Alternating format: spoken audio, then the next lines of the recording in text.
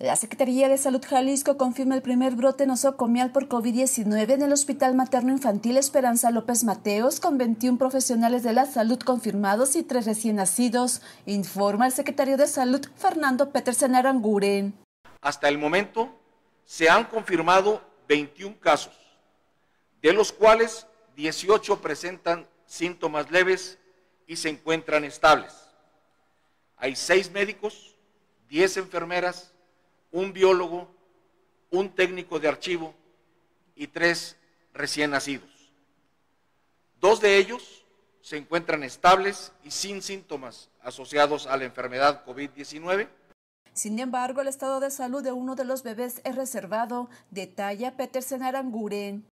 Y uno de ellos se encuentra en estado de salud grave debido a condiciones propias de su nacimiento y comorbilidad prenatal persistencia de conducto arterioso, es decir, una enfermedad cardíaca congénita, hijo de madre preeclámptica, bajo peso, restricción de crecimiento severo a su ingreso, y desde el nacimiento todos estos factores hablan desgraciadamente de un mal pronóstico. El secretario de Salud indica que aún quedan pendientes por confirmar o descartar 106 muestras a COVID-19. En el Hospital Materno Infantil Esperanza López Mateos laboran 600 personas. Es un espacio exclusivo para la atención de la salud de la mujer y acuden de manera frecuente adolescentes embarazadas.